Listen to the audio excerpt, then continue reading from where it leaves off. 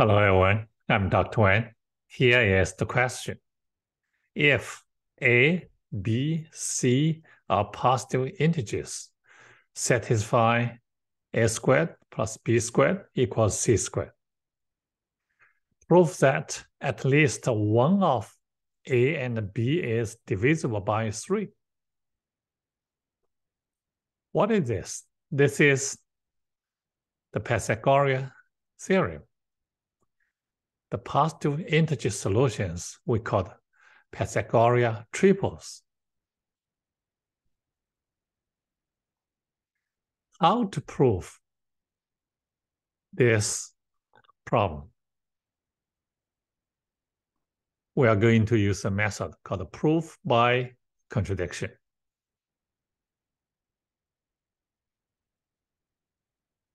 Let's look at some examples. It, when C less than 100, we have a table here. Is that true? At least the one of A and B is divisible by 3. Look at the first triple. 3, 4, 5. Yes. A equals 3. 3 is divisible by 3. Look at the second one, 12 b is divisible by 3. Here, b equals 15, b equals 24, b equals 21, a equals 12, a equals 9, b equals 45, b equals 60, b equals 63, a equals 33, a equals 48, B equals 84, A equals 36, A equals 39, B equals 72. That's true for all these triples. Now, how to prove at least one of A and B is divisible by 3? we assume if A and B are not divisible by 3, then we need to find a contradiction. If A is not divisible by 3, therefore the remainder of A divided by 3 should be 1 or 2. Cannot be 0 because it's not divisible. Similarly, for b.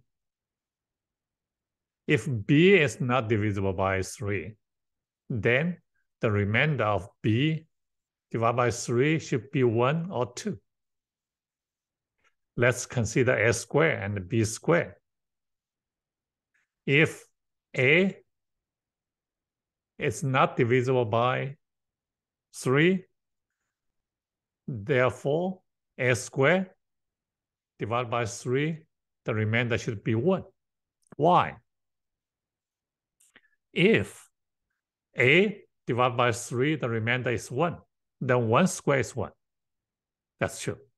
If the remainder is 2, 2 square is 4. 4 divided by 3 is 1, the remainder. Similarly, for b squared,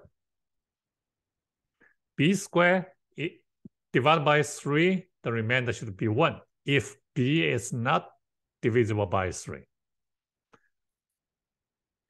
We have two results here.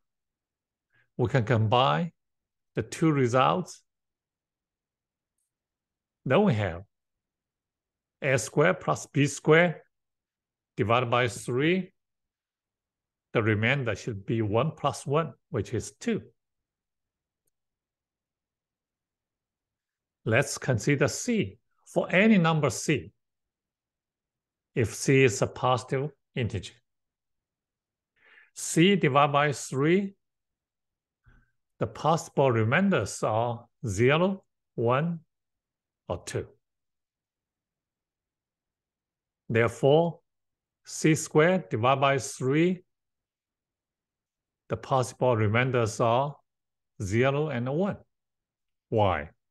0 squared is 0. 1 squared is 1. 2 squared is 4. 4 divided by 3 is 1, the remainder. Therefore, we have the third result here. Now, comparing both sides from this equation. The left-hand side, a squared plus b squared divided by 3, the remainder should be 2. The right-hand side,